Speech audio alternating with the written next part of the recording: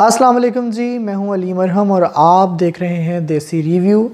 सबसे पहले तो मैं ये बात करना चाहूँगा कि गुज्त दो दिन हमारा रिव्यू नहीं आ सका तो उसकी क्या वजह थी? उसकी दो वजूहत थी। पहली वजह ये थी कि अल्लामा ख़ादिम हुसैन रिजवी साहब का अचानक इंतकाल हो गया और चूँकि हमने अपने चैनल पर वो ख़बर ब्रेक की थी और उस वक्त की थी जब यूट्यूब पर ये ख़बर अभी इतने मास लेवल पर ब्रेक नहीं हुई थी। तो इट्स क्वाइट अनएथिकल कि हम एक तरफ़ उनकी अचानक इंतकाल की खबर दे रहे हैं और अगले ही दिन या उसी दिन हम कोई ड्रामा रिव्यू भी करें।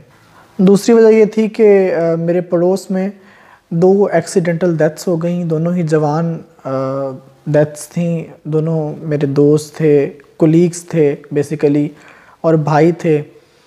और यकीन नहीं आ रहा था कि ज़िंदगी से भरपूर दोनों ही शख्सियात इस तरह हमें छोड़कर चली जाएँगी और काफूर हो जाएँगी। तो इस सूरत हाल में, इस तमाम सूरत हाल में, दिमाग के तारों से कोई सुर निकलना बहुत ही मुश्किल था। अभी भी उ- उस लेवल की टेंशन और उस लेवल की कंसंट्रेशन नहीं है।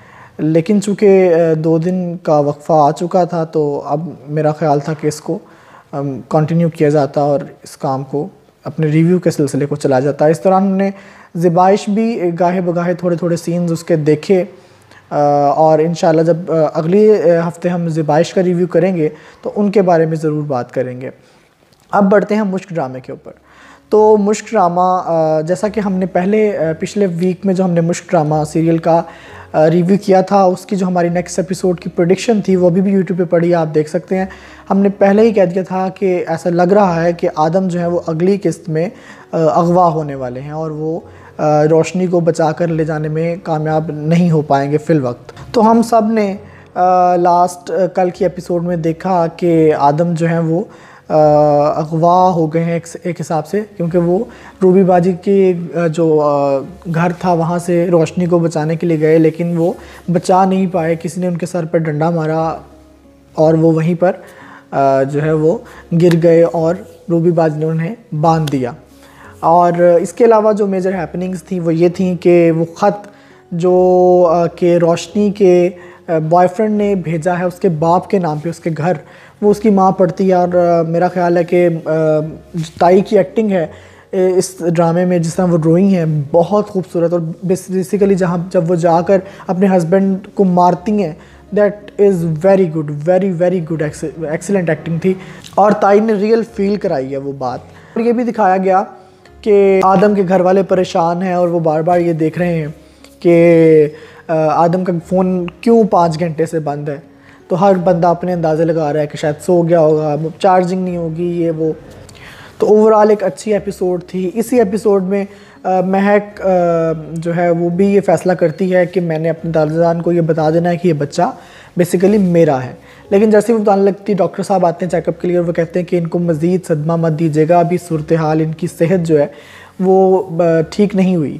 अच्छा इस सारी एपिसोड में जो सबसे बेहतर और सबसे अच्छी चीज़ मुझे लगी वो ये थी कि उर्वा हुसैन की एक्टिंग बहुत अच्छी थी इस ड्रामे में। उर्वा हुसैन ने बड़ा प्यारा किरदार, वो ओवरऑल ही वो किरदार बहुत ही अच्छा है और कुछ उर्वा हुसैन जो हैं वो उसको चार चाँद लगा देती हैं। इस एपिसोड में वो बड़े मज़े मज़े के डायलॉग्स हैं। और वो कहती हैं कि मैंने कभी किसी के लिए दुआ नहीं की, लेकिन आज पहली दफ़ा दुआ कर रही हूँ। जिनके लिए नहीं की थी बद दुआएँ की थी, वो असल में है भी बद दुआओं के हकदार थे, लेकिन जो ये आदम है, ये दुआओं का हकदार है। तो ऐसा लग रहा है कि उर्वा का करेक्टर भी जो है ना, वो ग्रे से अब मेरा ख्याल है कि वो वाइट जो है वो पेराए में जाता जा रहा है। तो बहुत ही अच्छा लग रहा था उर्वा का किरदार हमें जो कि गुड्डी का किरदार है। तो अब देखना ये है कि आगे क्या होता है। लग ये रहा है कि उर्वा और इमरान अशरफ का पैचअप नहीं हो पाएगा। उर्वा इमरान अच्छा इस एपिसोड में शाहान जो है, जो कि महक का हस्बैंड है, उसका भी निकाह तय हो गया। वहाँ भी बड़ा प्यारा डायलॉग है कि वो कहता है कि हम जब मरेंगे तो सबसे पहले खुदा को अपना मुँह दिखाएँगे। तो अपने उन चौधरी साहब को कहता है कि, क्या आप क्या दिखाएँगे?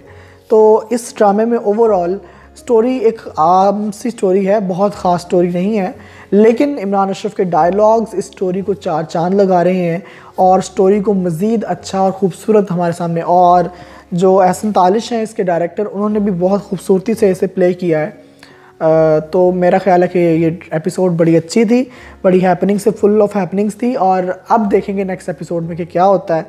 और क्या इमरान अशरफ छूट जाएँगे उसकी कैद से या नहीं? मुझे लगता है कि नेक्स्ट एपिसोड में इमरान अशरफ जो हैं, वो उस कैद से छूट जाएँगे, जो कि रूबीबाजी की कैद में वो हैं और रोशनी को भी बचा कर ले आएँगे।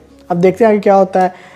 आपको ड्रामा कैसा लग रहा है? कमेंट्स में ज़रूर बताएँ लाइक शेयर और सब्सक्राइब कर दें। बहुत शुक्रिया।